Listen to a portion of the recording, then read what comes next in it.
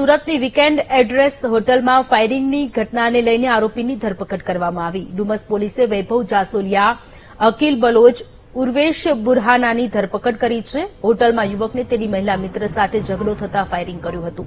ઝઘડો થતા મહિલા મિત્રએ બીજા ત્રણ મિત્રોને બોલાવ્યા. મહિલાના મિત્રોએ બંદૂક ઝૂંટવી હવામાં ફાયરિંગ કર્યું. સંવાદદાતા નિર્મળ ફોનલાઈન પર જોડાયેલા છે. નિર્મળ, સુરતની વીકેન્ડ એડ્રેસ હોટલમાં ફાયરિંગની ઘટના ઘટી હતી, જેને લઈને આરોપીની પોલીસે ધરપકડ કરી છે. વધુ વિગતો.